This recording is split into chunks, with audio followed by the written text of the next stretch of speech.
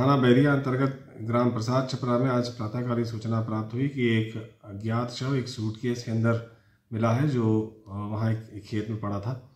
और वो लाल रंग का एक सूटकेस जो अमेरिकन टूरिस्टर का है। इस पर सभी अधिकारी मौके पर गए। मेरे द्वारा भी घटनास्थल का निरीक्षण किया गया है। साथ में यहाँ पर पुलिस अधीक्षक और क्षेत्राधिकारी बैरिया द्वारा भी घटनास्थल का निरीक्षण किया गया। प्रथम दृष्टिया जो उसमें शव है, उसकी शिनाख्त नहीं हो पा रही, क्योंकि वो बिल्कुल कंकाल है। उसमें कोई भी चीज़ ऐसी नहीं जो आइडेंटिफाई हो पाए। और ये भी नहीं आइडेंटिफाई हो पा रहा है कि मेल का है कि फीमेल का है क्योंकि कोई इस तरह के रेमिनेंट पार्ट्स उस तरह के नहीं दिख रहे हैं। जहाँ तक बॉडी डिसलोकेट होने की बात है, वो काफ़ी पुराना शव लग रहा है, प्रथम दृष्टि ऐसा लगता है कि पंद्रह दिन के आसपास का पुराना होगा। और सारे जो सॉफ्ट पार्ट्स हैं, वो गल चुके हैं, इस वजह से वो बोन्स वगैरह डिसलोकेट हो गई हैं।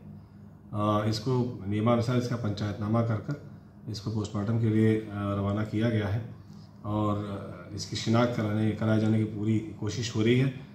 तमाम जो आसपास के गाँव के लोग हैं, उनको वो भी सूचित किया गया, लेकिन कोई अभी सार्थक बात सामने नहीं आई है।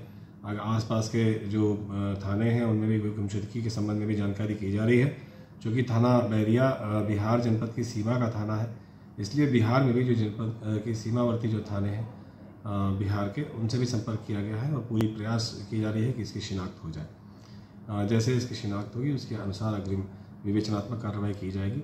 और जो वहाँ का चौकीदार है, उसके द्वारा दिए गए तहरीर के आधार पर अभियोग पंजीकृत किया गया है थाना बैरिया पर और विवेचनात्मक कार्रवाई की जा रही है।